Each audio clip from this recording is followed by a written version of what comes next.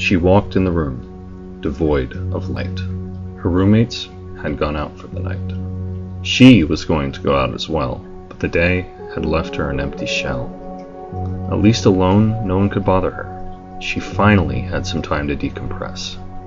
Hidden from the RAs, she pulled out a bottle and took a drink to relieve some stress. The week had been long two tests, a quiz, and a presentation due Monday. What a nightmare this is.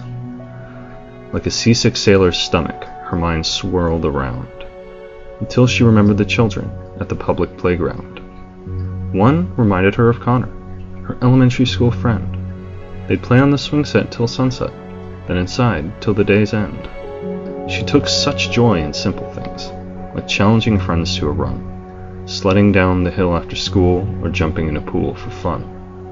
Now, these activities were no longer interesting and she could not understand why. Is it something to do with growing up? She said out loud, with a sigh. Her mind drifted to friends newly distant, the one thing she missed the most. She used to see them every day, but now many were no longer close. Kate kept contact through college so far, though she saw her only seldom. They'd only met four times this year. More time with her would be welcome. Kate had always been drowning in stress, fighting through school every day. She never worried about school like Kate till college came her way.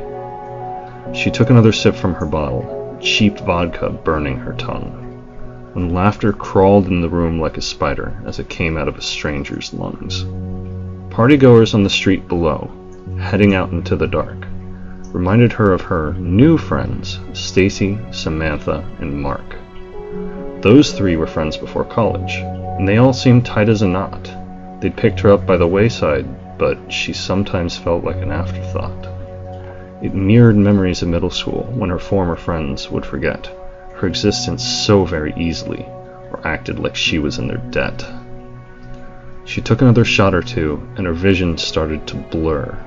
A warm feeling took over her body, and she spoke, with a slight slur. This is no different than the party I would have gone to anyway. And just be alone in a crowded room. It's better to stay in today. Recollecting the last few times she went to parties for fun, she sought to socialize with strangers, but was shunned by everyone. Rather than feel so awkward, she chose to self medicate by smoking a whole pack of cigarettes or drinking till she could not walk straight. She wondered if there were consequences to a daily chemical smile other than a few extra pounds and the occasional trash can of bile.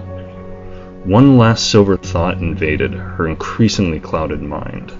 This past month felt painfully similar to when her boyfriend left her behind. It was the first time that she felt love, but he did not feel the same. She did not blame him for leaving, but her heart had still writhed in pain. Recently, old habits resurrected from those days she wished to forget, such as overeating, undersleeping in an alcohol cannabis duet. With a final sip, she succeeded in turning off her brain.